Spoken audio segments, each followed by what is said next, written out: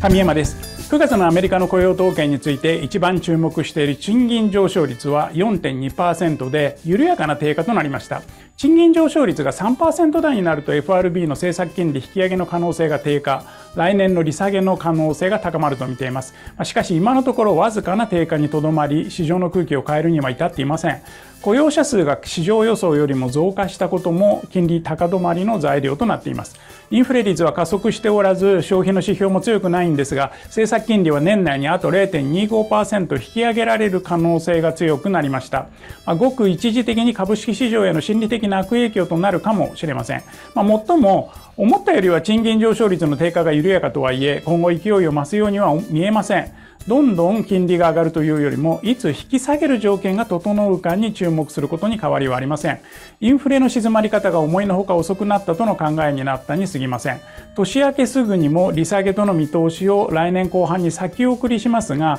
FRB がそうであるように今後の賃金上昇率やインフレ率のデータにより見通しを変えるかもしれません。今のところドル円は来年にかけて円高方向だが140円台のドル高水準が続くと考えています。短期的には円高気味の間はアメリカの株や債券への投資の成果が出にくいかもしれません、まあ、しかし長期投資の立場であれば人間の努力と工夫で世界全体の株式価値が生み出され続けることを疑う理由は見当たりません。以上神山でした。